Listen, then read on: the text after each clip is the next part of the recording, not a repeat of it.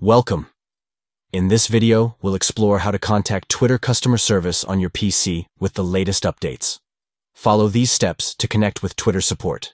To begin, open your web browser and go to https help.twitter.com and any forms. This is the official page where you can access Twitter's support forms. Next, select a topic that best describes the issue you are facing. Choose from a list of categories that align with your specific concern.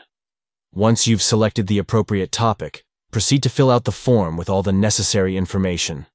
Provide details about your issue, including any relevant account information or details that may help Twitter support understand the problem.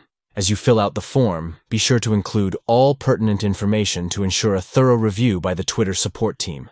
It's important to note that some support form pages may have a Contact Us tab near the top of the page. However, clicking this tab will redirect you back to the main forms page. This is a design feature to streamline the support process. After submitting the form with your issue details, Twitter's support team will review your submission and may reach out to you for further information or assistance. Thank you for watching.